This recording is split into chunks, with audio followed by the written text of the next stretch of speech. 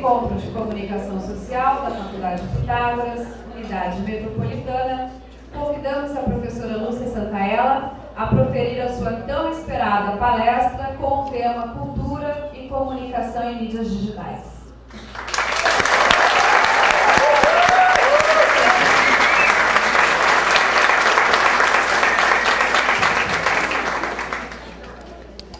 Boa noite. Agora vocês ouviram minha voz. é, eu quero agradecer o convite. É, é, eu raramente recuso convites deste tipo, porque é maravilhoso ver essa juventude exuberante, curiosa, cheia de vida que deve dar inveja para os países europeus cansados. Eu moro uma parte do ano na Alemanha e é, se os professores alemães pudessem ver um público como este, eles morreriam de inveja. Então, eu não recuso convites porque isso, isso me alimenta muito. O Humberto Eco deu uma entrevista há pouco tempo e ela foi publicada na Folha e ele diz assim nós devoramos a, não é os intelectuais mais é, da idade dele da minha. Então ele diz assim nós devoramos a carne dos jovens e eles devoram a nossa experiência. Então é, quero também agradecer o carinho e a afetividade com que estou sendo recebida aqui. É uma alegria.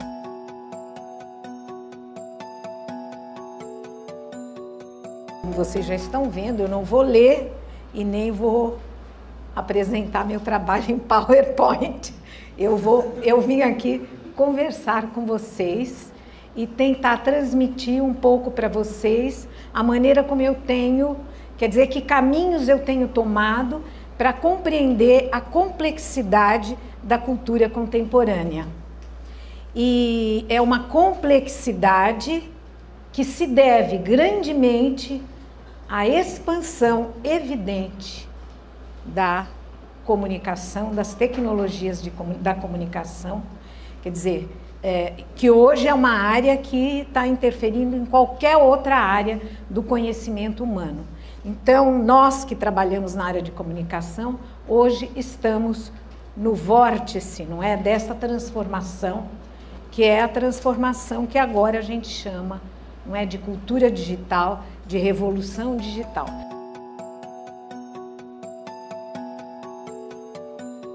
Vocês já nasceram, jovens, já nasceram nessa cultura, ou eram muito jovens ainda, crianças, quando essa cultura explodiu, que é a cultura digital. É, então, para vocês é natural. Então, é, seria a mesma coisa, quer dizer, vocês imaginarem o que, que seria o um mundo sem internet, sem computador, seria a mesma coisa que eu imaginar um mundo sem cinema e sem televisão, que foi não é, a cultura que eu vivi na minha juventude.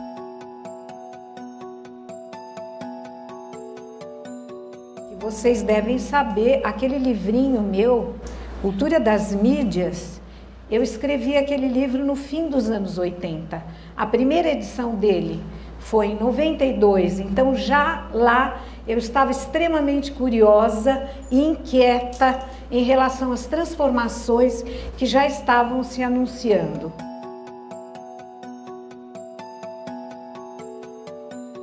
E agora o mais recente, que é linguagens líquidas na era da mobilidade, que é o que eu estou agora trabalhando. Eu estou trabalhando com os dispositivos móveis, os celulares.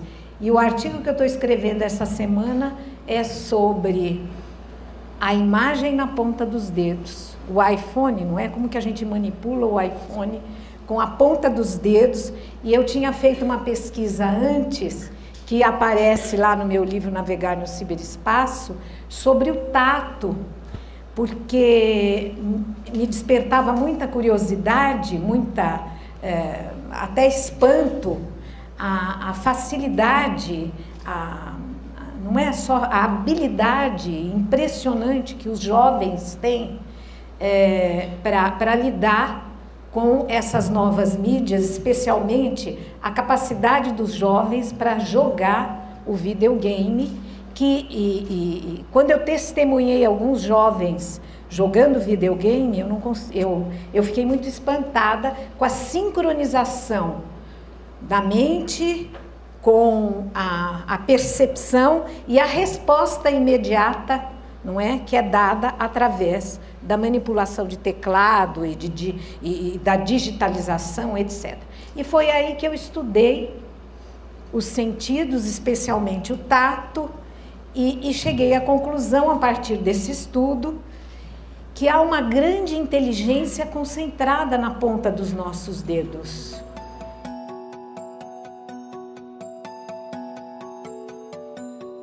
Então, também tenho estudado esse processo de simbiose entre o ser humano e isso que a gente continua chamando de máquina, mas na realidade não são mais máquinas, são dispositivos muito. É, são dispositivos cada vez mais delicados.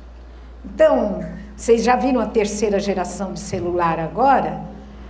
Ele faz tudo. É um, vai ser um aparelhinho multiuso que a gente leva junto do corpo, cada vez menor. E as pesquisas agora de nanobiotecnologia, então aquilo que a gente chamava de máquina na revolução mecânica do século passado, está se transformando cada vez mais em algo que vai interagir conosco sem que a gente perceba que existe lá algo artificial.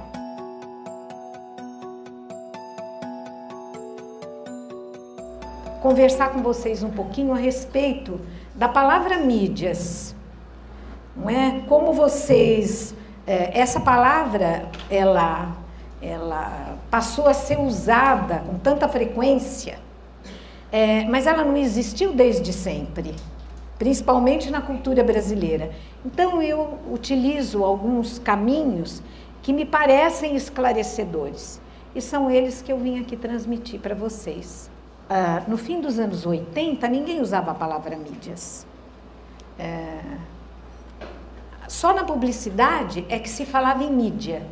Você já mandou aquele trabalho para mídia? Assim que eles falavam. É, e a primeira vez que eu ouvi essa palavra, ela me chamou atenção. Então, o que existia na realidade até os anos 80 era só a comunicação e a cultura de massa. Isto é, rádio, televisão, e a gente já não é até o jornal já não é, a gente pode considerar como meio de massa.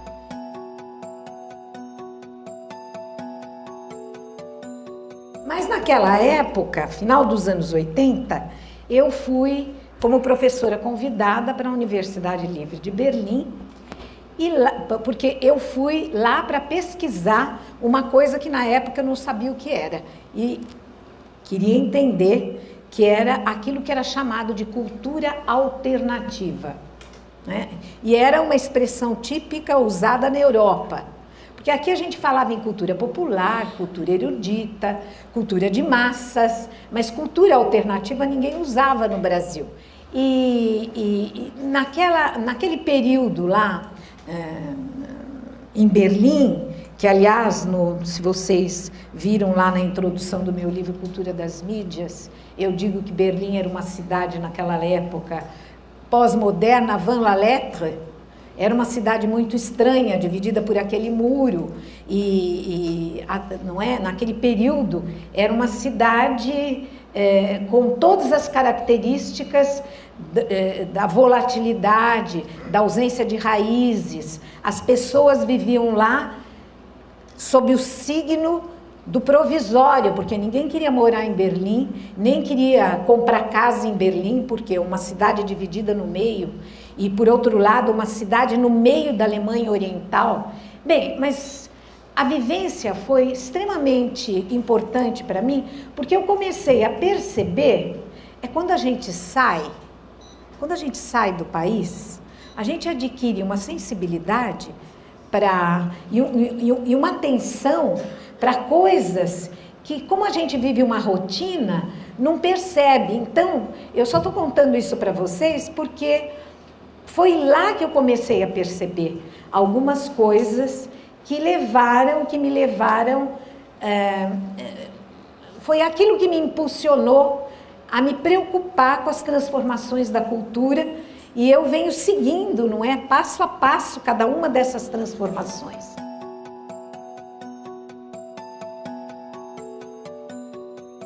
Mas o que, que eu percebi? Que alguma coisa estava acontecendo de diferente que estava colocando em crise a hegemonia, a dominância quase exclusiva da cultura de massa.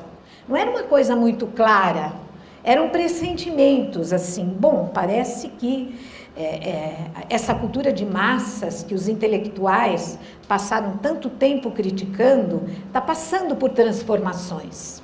Então, é, quando eu voltei de lá, eu comecei a escrever esse livro, Cultura das Mídias. O nome do livro foi muito ousado, porque na época ninguém falava em mídias, muito menos no plural.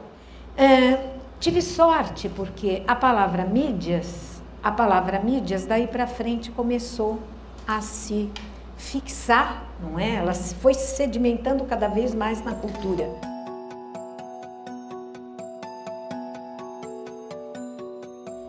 Que é que eu estava percebendo e que não está muito claro no meu livro Cultura das Mídias, porque eu mesma não tinha muita clareza. Eu sabia que algo estava sucedendo, mas. E, e, e assumi esse risco de dar o nome de Cultura das Mídias. Eu só fui compreender quando eu publiquei o livro Culturas e Artes do Pós-Humano. Lá eu me expliquei melhor. E também já estava começando a me explicar melhor na quando, eu quando foi feita a edição expandida, a edição expandida uh, do livro Cultura das Mídias, que foi publicado em 96. Aí o computador e a cultura digital já estava começando a explodir. Então eu comecei a entender aquilo que eu queria dizer no fim dos anos 80, mas eu não tinha ainda elementos para dizer. O que é que eu estava querendo dizer? Quem aqui viu aquele filme do Wim Wenders, é, do Wim Wenders, Paris, Texas. Porque esse filme é um retrato do que estava acontecendo no mundo da comunicação dos anos 80, assim como Matrix é um retrato daquilo que está acontecendo no mundo da comunicação agora. E, a, e, e, e é, é, eles, eles conseguem captar esses dois filmes, conseguem captar esses dois momentos fundamentais. Fim dos anos 70, 80, começaram a aparecer uns gadgets, uns pequenos dispositivos que, assim, é, sem chamar muita atenção e sem muito alarde, começaram a minar a cultura de massas. O primeiro deles foi controle remoto.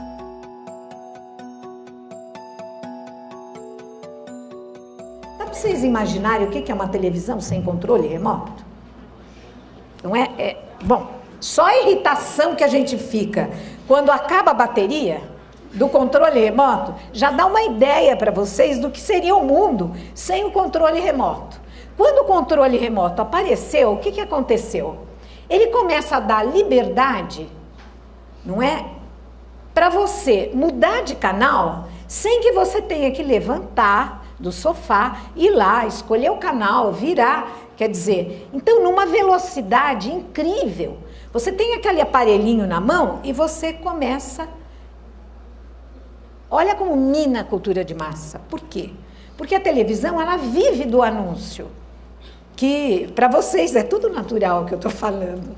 Então, não é? Mas só estou tentando fazer vocês compreenderem o que seria, o que, que era o mundo antes dessas transformações. Então, ah, de, de, eh, nas famílias um pouco mais abastadas, o que acontece? Cada filho, o marido, a mulher tem uma televisão, possibilidade, não é, de escolha. Esta é a palavra-chave. Gadgets são pequenos dispositivos que vão nos dar a possibilidade da escolha.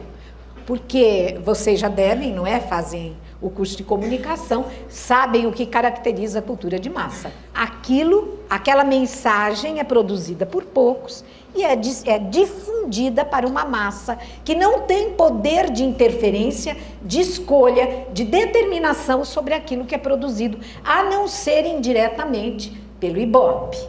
Claro que o Ibope tem poder, mas aquilo é uma massa, não é? É uma massa indiferenciada. Quando eu tenho um controle remoto na mão, eu começo a determinar e a escolher aquilo que eu quero. Prestem bem atenção nisso, porque isso vai se acentuando cada vez mais até o dia de hoje. Imaginem hoje. Quando vocês entram na internet, o que, que vocês fazem? Você escolhe o caminho que você quer, você vai para o portal que você quer, você vai para o site que quer. Então você vai escolhendo. Ora, isso começou com aqueles pequenos aparelhos, máquina de xerox. O que, que eu faço com uma máquina de xerox? Eu vou lá e tiro 10 páginas de um livro monto a minha pasta, tiro mais 10 páginas do outro, mais 20 do outro e monto o meu arquivo, o meu arquivo pessoal daquilo que me interessa, não é? Ou então o professor mandou ler lá o livro, não é? Leio lá o capítulo tal. Bom, até meus alunos fazem isso na minha cara. Eu mando ler um capítulo de um livro meu, eles vão lá e tiram o xerox, não é? E aparece com o xerox na minha frente. Bom, que fazer? É a mesma coisa você tirar o controle remoto da pessoa. Você vai na videolocadora, escolhe o que você quer. Vejam só como a vida vai ficando, não é? Estimulante, não é? Antes ela vai ficando estimulante, você vai escolhendo. As pessoas falam mal, mas é, é maravilhoso você poder escolher o que você quer, não é buscar o que você quer. O que é horroroso é que haja pessoas que não têm acesso a isso. Isso é horroroso, não é?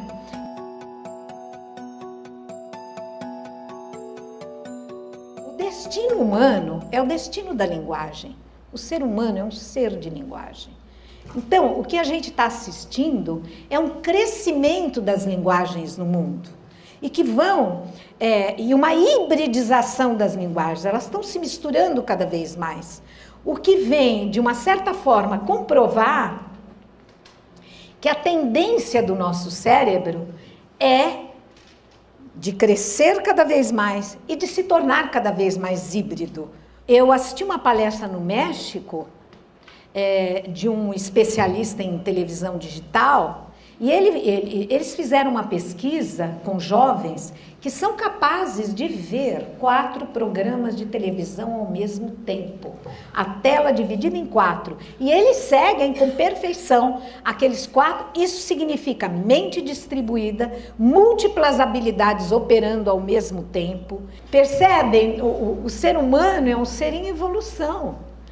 E, e há autores que dizem, autores que dizem que essa revolução tecnológica a que nós estamos assistindo, principalmente, que são tecnologias de linguagem, é isso que a gente precisa entender.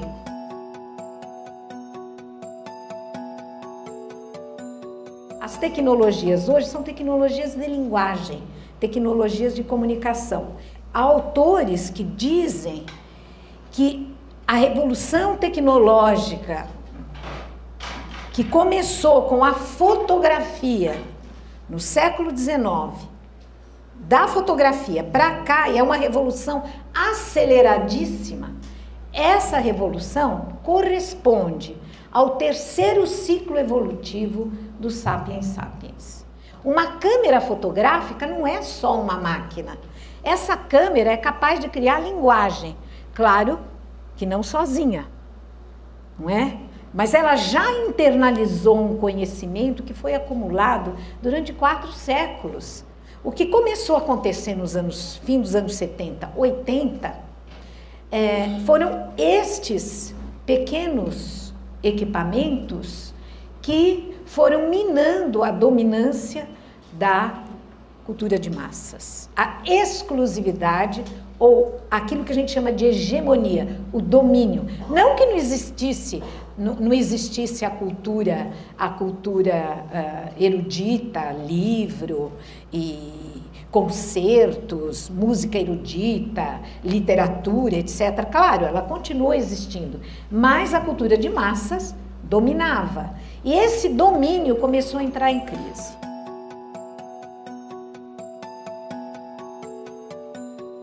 Olha, a revolução digital, ela explodiu com a www que te permite, não é, navegar, entrar na rede e navegar. Vocês não podem nem imaginar como era antes de 1995. E eu para entrar na tal da Bitnet, eu tinha uma sequência de protocolos e de códigos que enchia uma página inteira do, da minha agenda e que eu não conseguia decorar. E daí se errava uma letrinha, tinha que voltar tudo outra vez.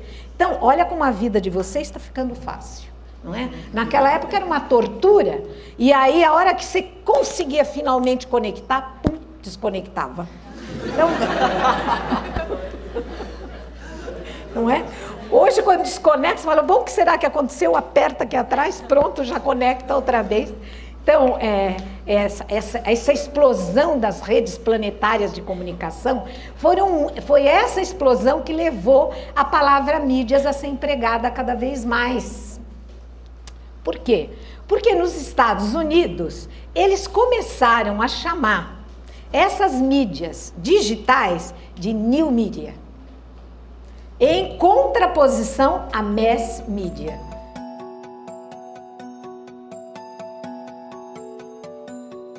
E foi por influência, não é, da, da, da, da produção enorme de textos nos Estados Unidos, principalmente, e mesmo fora dos Estados Unidos, é, é, foi a, a, a, enorme produção desses textos que levou também aqui no Brasil a gente a adotar essa terminologia, que na realidade, quando a gente fala mídia, a gente está se segue a, a, terminologia americana, a gente está se referindo a new media.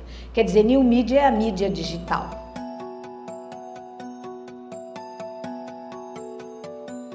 E tudo isso que eu estou falando é porque é, essas ideias, não é, é, que eu tenho desenvolvido, elas nasceram enquanto eu fui dando os cursos de pós-graduação e uma ideia que foi nascendo assim, quando eu dei, acho que o segundo curso sobre novas as tecnologias digitais, que eu comecei a perceber o seguinte: tá bom, a gente fala tudo mídia, tudo é mídia agora, nanomídia, é, mídia quântica, etc. Mas é, eu comecei a desenvolver é, o pensamento de que é, a gente tem que diferenciar que mídias são essas.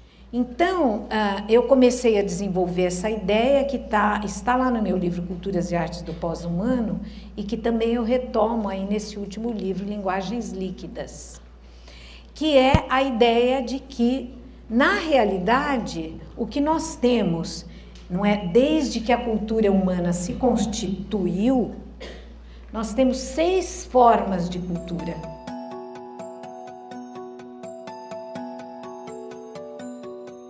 cultura oral, a cultura escrita, a cultura impressa, a cultura de massas, a cultura das mídias, que é isso que eu expliquei para vocês, o que é a cultura das mídias, né?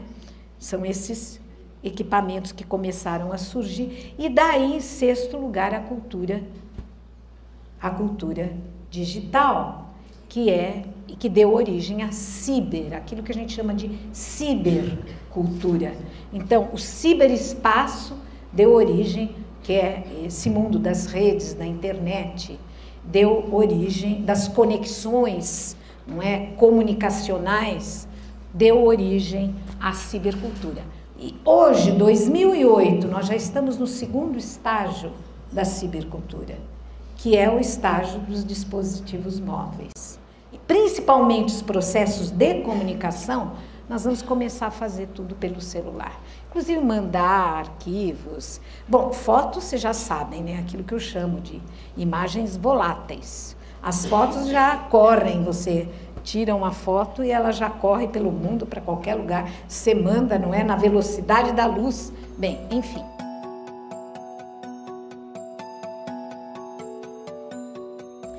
Então eu faço essa diferença e ela permite que a gente compreenda, compreenda a enorme complexidade das sociedades que nós vivemos hoje. Porque a cultura oral não desapareceu. Olha o que eu estou fazendo aqui. É uma situação típica de cultura oral. A pessoa mais velha, que acumulou algum conhecimento sobre a tradição, reúne, não é? Se reúne com os mais jovens para transmitir para os mais jovens a experiência e o conhecimento acumulado. A cultura escrita também ainda permanece viva. Os designers, você vai falar para um designer, não é? Que ele não, não que ele, ele pode abdicar da, do manuseio do, de um lápis, de um pincel, de um qualquer outra coisa, quer dizer, da mão, o gesto. Dizer, isso é fundamental, ainda continua vivo. Então, essa, essa escrita, não a escrita através da máquina, mas a escrita manual, ela ainda permanece viva. Ou seja, o ser humano não abandona e nem pode abandonar, porque são riquezas que nos constituem. Então, essas formas de cultura, elas não vão desaparecendo. É, e nem vão se somando só, elas vão se integrando, se complementando e vai criando essa realidade híbrida, que é a realidade que a gente vive.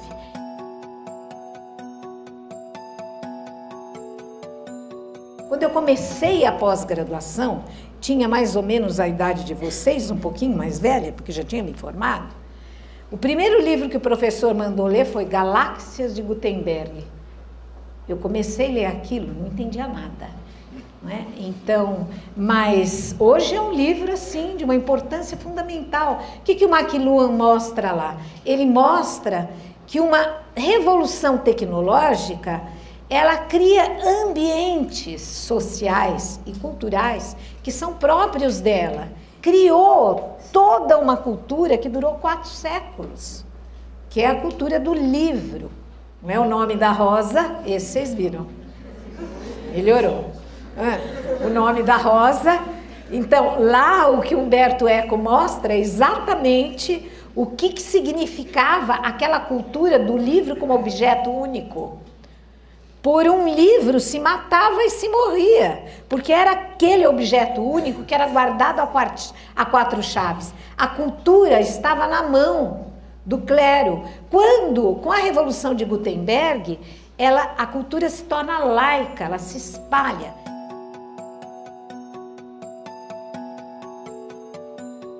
Depois veio a cultura de massas.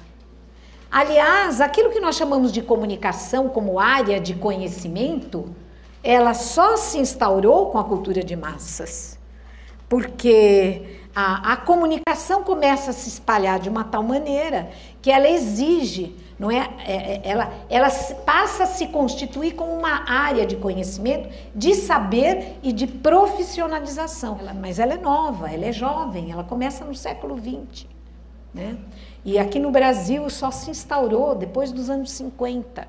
Então, esse é, isso que eu estou transmitindo para vocês, que é a necessidade da gente entender essas diferentes formas de cultura, é, cada uma delas tem tecnologias de comunicação que são próprias dela. A fala, a fala é a primeira tecnologia. As pessoas que têm preconceito com a tecnologia se esquecem que a primeira tecnologia está instaurada dentro do nosso próprio corpo. Isso aqui é um aparelho o aparelho fonador é um aparelho, é um artifício. Então, todas essas formas de cultura, no fundo, elas são prolongamentos dessa capacidade que nos constitui e que nasce conosco, que é a capacidade da fala.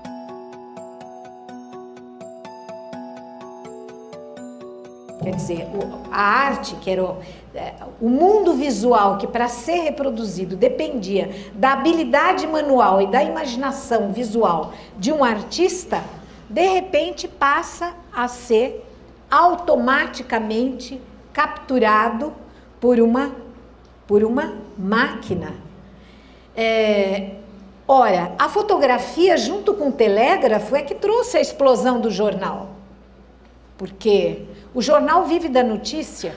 Se eu não tenho a possibilidade de trans, transmitir a informação à distância, se a informação chega no seu de um lugar, se ela leva uma semana para chegar de um lugar para o outro, não é? Ela não é mais informação nem notícia. Então, e começou com o jornal, isso que hoje todo também se tornou um lugar comum, que é aquilo que a gente chama de linguagens híbridas. O jornal já é híbrido. Ele já mistura linguagens. Não é? O jornal não é só linguagem verbal. É jornalista aquele que sabe escrever, que escreve bem e que tem aquele discurso, não é agradável, porque senão ninguém lê o jornal, tem que ser agradável. Né? Então, é, essa linguagem ela não é só verbal. A diagramação do jornal, tudo isso é híbrido. Para eu entender a mensagem do jornal, eu tenho que já estar juntando uma série de linguagens na composição não é, de uma mensagem que se constitui não apenas de uma, mas de várias linguagens que se organizam de maneira coesa.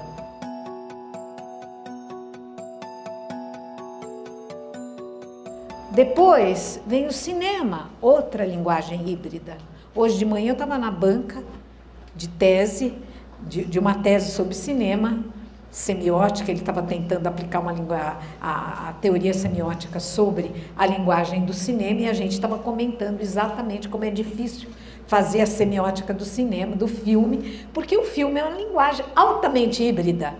Você tem o som, você tem o diálogo, você tem o ruído, você tem a música, você tem a imagem, mas a imagem ela está em movimento e você tem aquilo que a imagem registra, que é o enredo, porque sem um argumento ninguém consegue ver um filme. Então, o, o, filme depende do enredo, do roteiro, do, daquilo que a gente chama de argumento, né, que é verbal. Então, mistura é uma linguagem de misturas. E essas misturas vão se tornando cada vez uma constante maior. A fotografia e o cinema são meios mecânicos. Com a revolução eletrônica começaram a aparecer os meios eletrônicos, rádio e televisão. Perto do rádio e da televisão, jornal e cinema se tornam eruditos porque o rádio e a televisão são meios de difusão que instauram e, le instauram e, leva, e levam a cultura de massas ao clímax.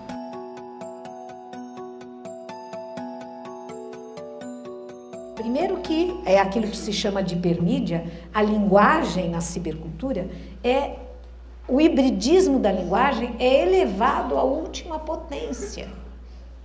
Porque lá você tem todas as linguagens sonoras, você tem todas as linguagens da imagem, fotografia, desenho, diagrama, flechas, mapas, direções, tudo. E mais a linguagem verbal. Então vejam, para eu ter competência na linguagem digital, a gente não pode ter queimado etapas você precisa ter competência na linguagem escrita, você precisa ter competência na leitura da linguagem do jornal. Os primórdios da, da, da, da, da hipermídia já estavam no jornal. Porque é com o jornal que a gente aprendeu a se orientar nestas, nessa, nessa, nessa linguagem que, é, que se monta por mosaicos. É, hoje nós já estamos não é? na cibercultura e no segundo estágio da cibercultura. E isto não vai parar. O destino humano, eu tenho desenvolvido essa ideia de que o destino humano é o, desti o destino humano é o de produzir linguagens.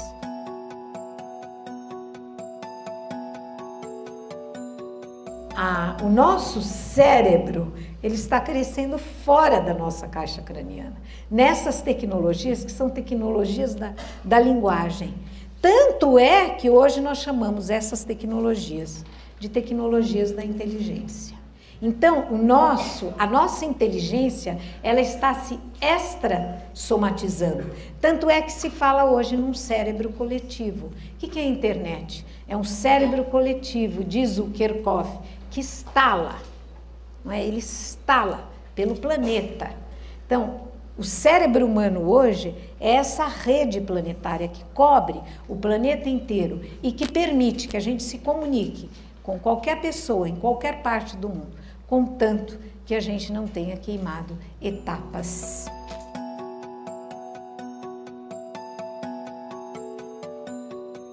Agora nós já estamos na fase do da comunicação móvel.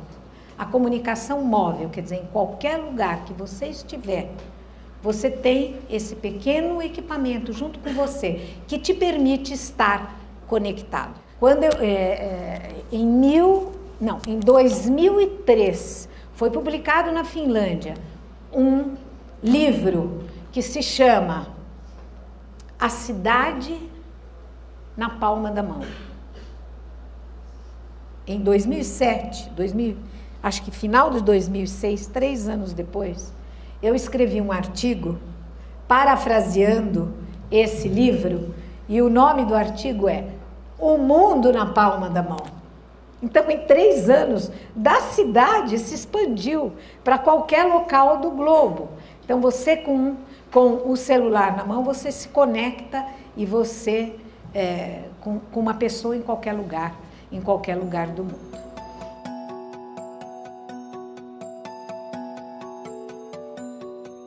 Nossa cultura está muito complexa é, e difícil de compreender, porque essa, essa, essa rede constituída dessas seis formas de cultura simultâneas operando ao mesmo tempo cria então essa essa malha híbrida complementar onde uma forma de cultura não deixou de existir porque a outra apareceu.